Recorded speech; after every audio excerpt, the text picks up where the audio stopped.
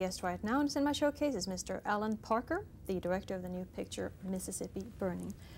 Having seen this movie and having talked to people who also have seen it, they're all amazed at how well you have captured the time and place, Mississippi 1964. You're not a Southerner, you're not even an American.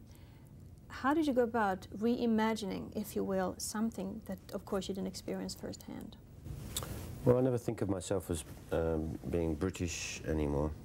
I've made eight films here, uh, and so I started to feel like maybe I am an American. But I look at it, America differently to an American, perhaps, perhaps with a little more uh, clarity. Um, but I don't think it'd be any different if I'd have come from New York. I would have had to look at those times and that place, and you do your homework. I read everything that has possibly been written on it. I saw every foot of newsreel uh, film, uh, and just really just absorbed every single thing that I could in order, and then I spent a great deal of, of time in Mississippi in order to, to get it as accurate as possible. With all that research in your head, how was the Mississippi that you met? Um, they were fine, yeah, they were very nice to me, yeah, and to the whole of the unit. I mean, for a number of reasons. I mean, this is 24 years on from the event, so in a way they felt a little bit separate from it, although some people that you met, not all, but some wished that we'd just swept it under the carpet and didn't bring it up again. But, uh, you know, it's a very depressed area there in Mississippi and in Alabama where we filmed.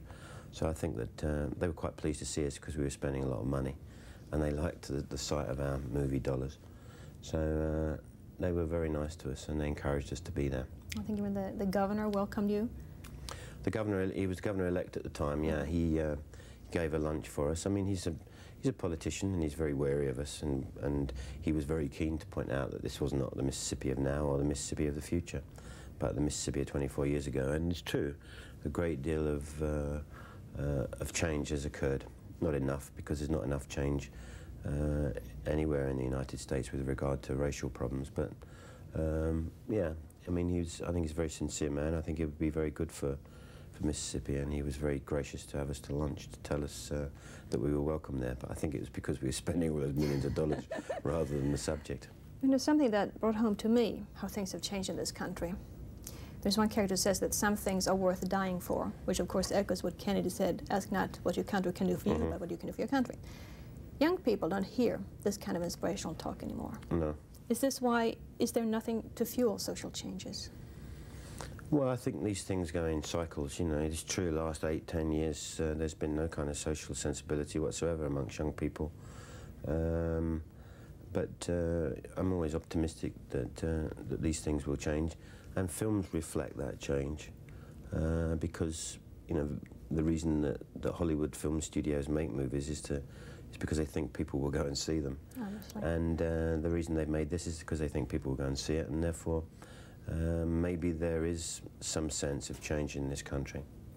Now, a picture like this will receive a lot of media attention.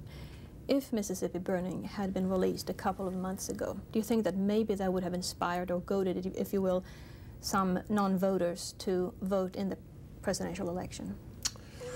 Maybe, maybe not, I don't know. Because that is the point that is brought up. Yeah, I think that film is a very powerful medium, but I think it does things slowly, you know, I mean, it's... Uh, maybe it would have been good for it to have happened and opened before.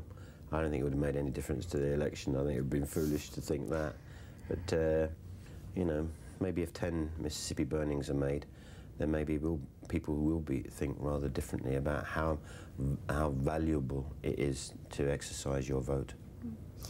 Uh, there was a quote I saw of you that I found rather intriguing. You said that you're the kind of director who needs villains. You're fueled by anger.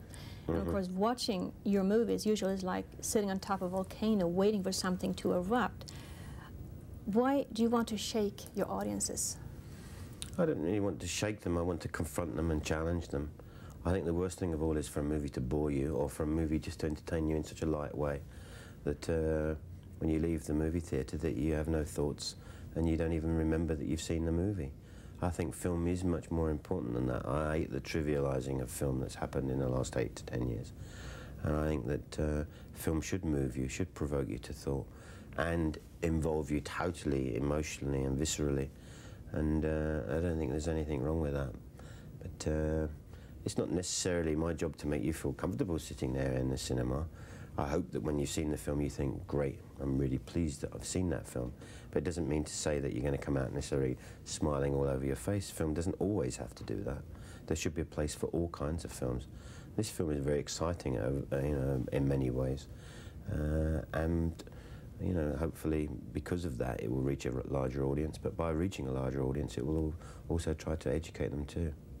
Mr. Parker, thank you so much for being with us here today. Thank you very much.